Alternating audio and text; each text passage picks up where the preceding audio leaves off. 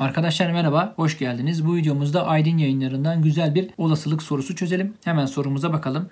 A eşittir 1, 2, 3, 4, 5, 6, 7 kümesinin elemanları kullanılarak yazılabilen rakamları farklı 7 basamaklı 11 ile tam bölünebilen sayılar özdeş kağıtlara yazılıp bir kutuya atılıyor.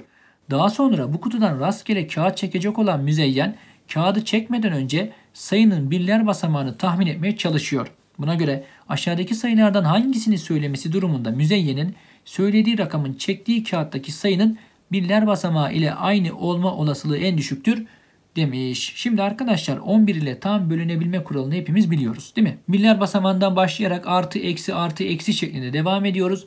Artıların toplamını eksilerin toplamından çıkartıyoruz. Arkadaşlar buraya A, B, C, D, E, F, G şeklinde 7 basamaklı bir sayı yazarsak artı eksi artı eksi artı eksi artı yazıyoruz. Artıların toplamı yani A artı C artı E artı G'den arkadaşlar B artı D artı F'nin toplamını çıkartıyoruz. 11'in katı veya 0 olmalı diyoruz. Zaten 0 da 11'in 0 katı. Şöyle biraz uzaklaştıralım arkadaşlar soruyu daha rahat çözmek adına şöyle yapalım. Arkadaşlar bizim yazdığımız A, B, C, D, E, F, G 7 basamaklı sayısı rakamları farklı. Yani ben buraya 1 yazdıysam artık 1 yazamam. 2, 3, 4, 5, 6, 7'den herhangi bir tanesini yazarım. Dolayısıyla rakamları farklı dediği için arkadaşlar benim yazabileceğim tüm 7 basamaklı sayıların rakamları 1, 2, 3, 4, 5, 6, 7 olacak. Dolayısıyla hepsinin rakamları toplamı 1'den 7'ye kadar olan sayıların toplamıdır. O da nedir? 7 çarpı 8 bölü 2'den 28'dir. Yani arkadaşlar benim yazabileceğim tüm 7 basamaklı rakamları farklı sayıların rakamları toplamı 28'dir. Şimdi 4 tane rakamın toplamından 3 tane rakamın toplamını çıkarttığım zaman 11'in katı veya 0 olmalı dedim. Şimdi 28'den küçük 11'in katlarını düşünürsek 22, 11, 0. Şu eksi 11 ile eksi 22'yi buraya yazıyorum. İlla ki bir arkadaşımızın kafasına takılır. Anlatacağız arkadaşlar. Şimdi dedik ki 4 tane rakamın toplamından 3 tane rakamın toplamını çıkarttığım zaman 22 olmasını istiyorum. Arkadaşlar buradaki 3 tane rakamın toplamı en az kaç olabilir? 1, 2 daha 3, 3 daha 6 olabilir değil mi? E toplam 28'di zaten. 28'den 6'yı çıkarttım 22. 22'den 6'yı çıkarttığım zaman kaç gelir? 16 gelir. Demek ki 4 tane rakamın toplamından 3 tane rakamın toplamını çıkarttığım zaman en fazla 16 gelir. Yani 22 olamaz. Peki arkadaşlar 11 olabilir mi? Şöyle diyelim 4 tane rakamın toplamına x dersek 3 tane rakamın toplamına da y dersek x artı y'nin 28 olduğunu biliyorum. x eksi y'nin de 11 olmasını istiyorum.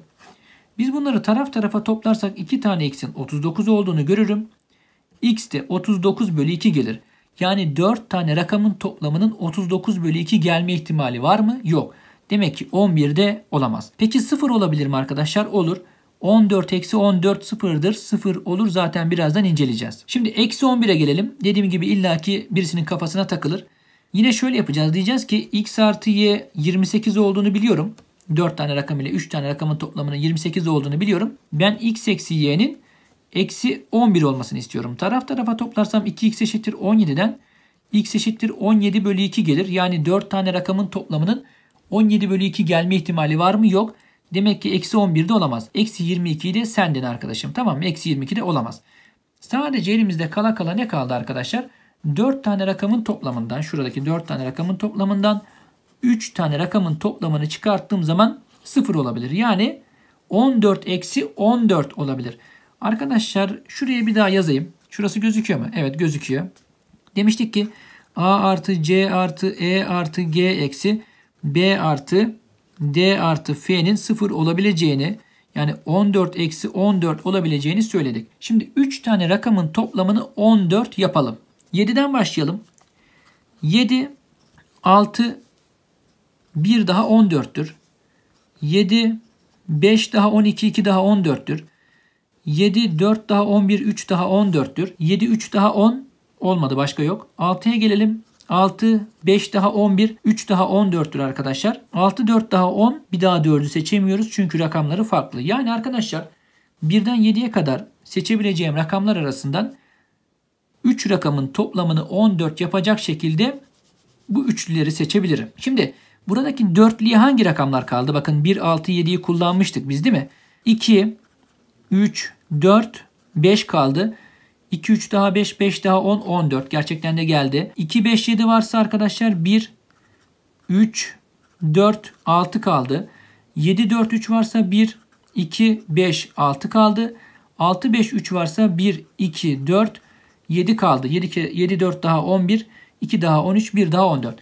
Tamam dörtlüleri de bulduk. Buradaki dörtlülerin toplamı da 14. Şimdi arkadaşlar bakın A, B, C, D, E, F, G şeklinde yazacağım 7 basamaklı sayı şöyle olabilir.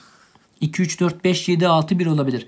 E tabii ki arkadaşlar bu 2, 3, 4, 5 yer değiştirebilir. Yani bakın şimdi A, C, E, G'yi yazdık. Biz değil mi buraya A, C, E, G'yi yazdık ve 2, 3, 4, 5 olabileceğini söyledik. Yani G 5 olabilir, 4 olabilir, 3 olabilir, 2 olabilir. Hepsi olabilir.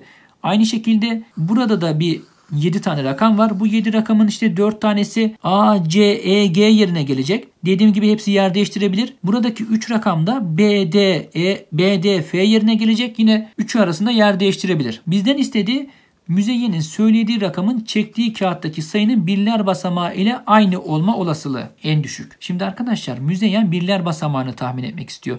Bakın biz A, B, C, D, E, G yazdığımız zaman G artıların grubunda yani dörtlülerin grubunda. Birler basamağı dörtlülerin grubunda arkadaşlar. Yani birler basamağına gelebilecek rakamlar 2, 3, 4, 5'ten gelebilir, 1, 3, 4, 6'dan gelebilir, 1, 2, 5, 6'dan gelebilir, 1, 2, 4, 7'den gelebilir. En düşük olmasını istiyorum. Yani buradaki rakamlardan hangisi en az ise en düşük olma ihtimali olan odur. Bakın 2 burada bir tane var, bir tane de burada var, 2 bir tane de burada var, 3 tane. Bakın 3 var, 3 var, 2 tane 4 var, 4 var, 5 var, 5 var, 6 var, 6 var. 4 burada da varmış. 1, 1, 1 var. 7 sadece bir tane var. Arkadaşlar dolayısıyla müzeyyen 7 rakamını söylerse arkadaşlar binler basamağı ile aynı olma olasılığı en düşük olan sayıyı söylemiş olur. Umarım çözümümüz sizler için faydalı ve açıklayıcı olmuştur. Gerçekten anlatımı sıkıntılı bir soruydu. Yani anlatıp kanala yüklesem mi, yüklemesem mi diye çok kararsız kaldım. Elimizden geleni de yaptık. Kendinize iyi bakın arkadaşlar. Görüşürüz.